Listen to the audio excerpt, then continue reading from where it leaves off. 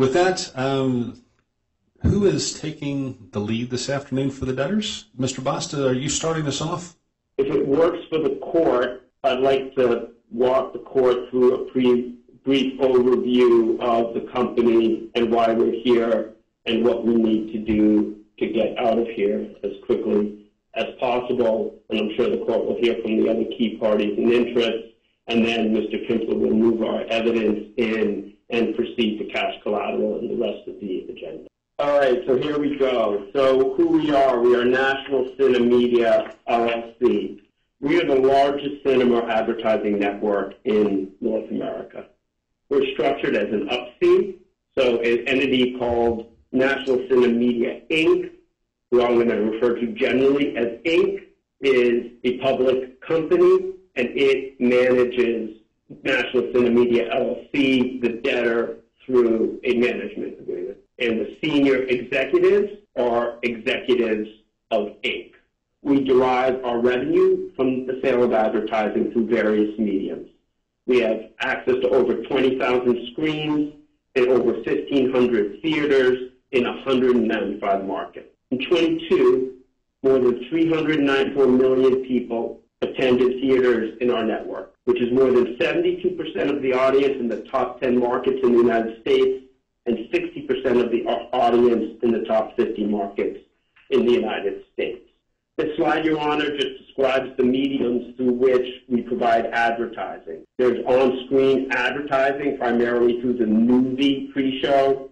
There's advertising that appears in the lobby. There's digital online advertising, and there's digital out-of-home advertising. The company began in 2005. Our founding members, Regal, AMC, and Cinemark, formed a joint venture to launch this advertising platform. And they did so to better compete with television and other national networks and to try to grow their advertising revenue. And the agreements that are the foundation of the relationship are called exhibitor services agreements. And those exhibitor services agreements, you're going to hear a lot about them in this case, but they provide the debtor with the exclusive ability to access these networks and, and, and, and allow our advertising to be um, aired on these networks. In 2007, the founding members did a very significant restructuring of the business. They formed Inc., they did an IPO, and they raised substantial amounts of debt, and they pocketed a billion five in payments in 2007. 686 for 686 million, the debtors purchased exclusivity and for $770 million, they redeemed their old preferred units. The 2007 deal extended the terms of these exhibitor services agreements, or ESAs, to 2037. They extended our exclusivity and non-competition rights and guaranteed them to the debtor. They provide us with the exclusive right to show NCM advertisements in exchange for theater access fees and for dividend distributions. And importantly, if the founding members acquired additional theaters in the future, they were bound to our agreement and had to fit within our network. The exhibitor services agreement are one of six key agreements that are the foundations of, of this business. The second agreement is called the Common Unit Adjustment Agreement, and this is a ratchet mechanism. And what the founding members did is, is to basically say, as as, as to each other, they would grow or provide access to greater consumers, their rateable ownership of the LLC would adjust proportionately up or down based upon increases or decreases in theater attendance at their theaters. There's a tax receivables agreement, and under that tax receivables agreement, Inc. and NCM have to pay to the founding members 90% of the tax benefit that they receive from the founding members for tax attributes that are created from the transactions with the founding members. The LLC agreement covers governance. 75% of our business is with the founding members. The rest of the business is with network theater partners. And we have 45 agreements with other theater chains. Those are structured differently. Instead of paying theater access fees, there's a, there's a revenue sharing formula for these other 45 agreements. And there's a management services agreement, which is the UP-C agreement, which is how Inc. Uh, manages the debtor. This is a picture. Oh, it's not. That's not the picture. This is the picture. This is a picture of our capital structure, and it's not very complicated. Starting on the left side, you see NCM Inc. And George Davis and Suzzanne Uhland from Latham are counsel to Inc. There also are proposed 327E counsel because they've been handling our litigation with Regal, which I'll cover towards the end of my presentation. NCM Inc. and, uh, and, a, and a sub LLC own all of the member interests in debtor. We are proposed as counsel with Porter Hedges, and you can see Lazard and FTI and Latham here on the page. There's $924 million of pari passu secured debt through in the various instruments that are on the page. And that debt trades in the market at 30 cents on the dollar. There's 230 million of unsecured notes that trade for less than 2 cents on the dollar. Our primary creditor group that we have been working with constructively uh, are, is, is represented by Gibson Dunn and Centerview, and I'm sure you'll hear from them today on the call. You can see that it's a very significant group. They own more than 70% of the 2018 and revolving loans.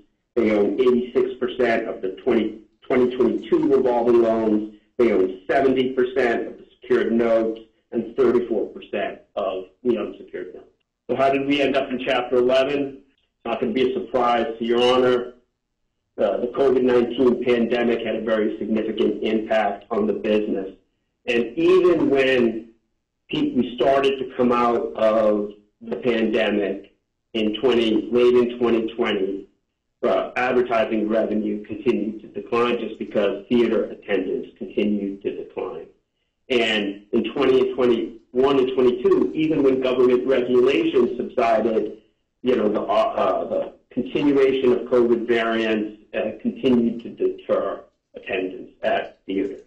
We estimate that we lost approximately $850 million to a billion dollars in revenue as a result of COVID-19.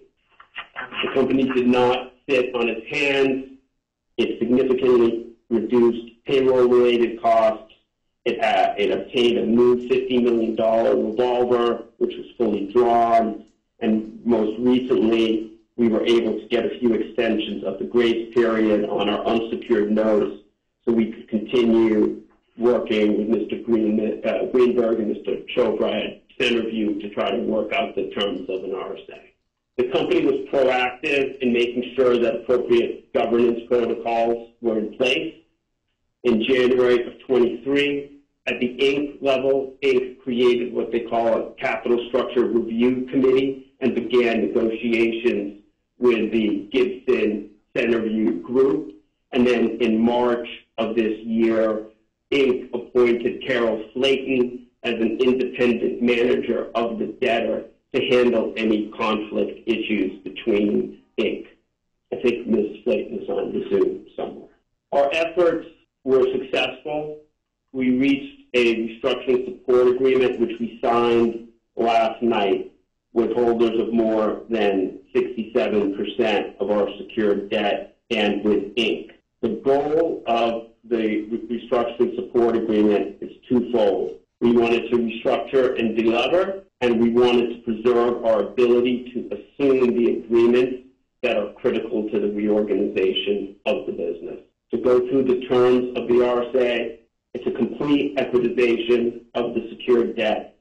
As for case funding, we don't think we need DIP financing. We're, project, we're projecting sufficient cash to administer the Chapter 11. We plan to assume all of our ESAs on the plan effective date. There is a 9019 settlement with Inc. where we are going to maintain the UP-C structure and continue all of our performance obligations on all of our agreements with the founding members. Inc. is going to contribute $15 million of cash on the plan effective date and it's going to take all necessary corporate a- a- actions to successfully uh, implement all of these restructurings. And in exchange for that, it's going to receive 13.8% of the equity in reorganized NCM. This deal with Inc. Goes a long way to uh, um, to pave the way for us assuming the ESAs and all of our agreements with our. So the equity split is 86.2 and 13.8. In the event at the end of the case we need uh, we, we need exit financing and we can't get it in the market, we will get it from our ad hoc group of lenders. We did something novel, some might say heavy-handed, on uh, with respect to the treatment of the uh, general unsecured creditors and the bonds. What the RSA says is if there's no creditors committee, the general and secured creditors are going to get paid in full. And if there's no creditors committee, there'll be a distribution to the bonds that trades at less than two cents. But there's real reasons why we did this. And so I'm going to go to the next page, which is going to give the court the math, and I hope the court understands why we've laid it out this way. We asked, you know, Lazard and FTI to turn up their brain volume and put together this very sophisticated analysis. And what it shows is that we have $27.8 million of general and unsecured claims. Today, we're seeking authority to pay 3.8 million as critical vendor payments. The estimated cure amounts are 21.6 million. So we estimate the general and unsecured class to be 2.4 million in this case. If we get a creditors committee, we anticipate the cost of the creditors committee, if you look at what's been going around, at a, at, to be more than $10 million. We would prefer just to pay the general unsecured creditors $2.4 million than to pay administrative expenses of $10 million. And if we have to pay administrative expense uh, amounts of $10 million, that will not only crunch our liquidity, but it will be, make it very difficult for us to get the secured creditors to pay to the actual client. So we understand that this is not a decision within our control. We understand we're not trying to tell the United States trustee what to do. The United States trustee will do what it needs to do uh, uh, uh, to uh, to make this work from their perspective. But we're just pointing out the math to everybody that we think the practical solution here is to keep this not so complicated case simple and to get the dollars into the hands of the creditors. Certainly. And, and I'm assuming, and, and I know that we're on less than 24 hours notice, but I'm going to guess, and I agree with you, the U.S. trustee can do what the U.S. trustee can do under the statute, but I'm going to bet you there's probably a stipulation or agreed order that could give them a lot of comfort uh, going forward. But I'll leave that I'll leave that to you all to work through. Yes, I think we could do that, absolutely, and we will reach out on that on that topic.